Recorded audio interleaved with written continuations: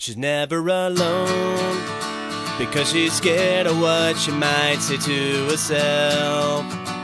Always drinking in the back room of the bar where everyone turns in a half hearted grin.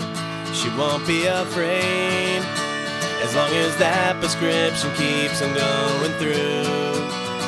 And all the happy pills make her look like a cardboard cut out of someone I used to learn from. But on the phone, she's telling everyone that there was a blue sky she left behind.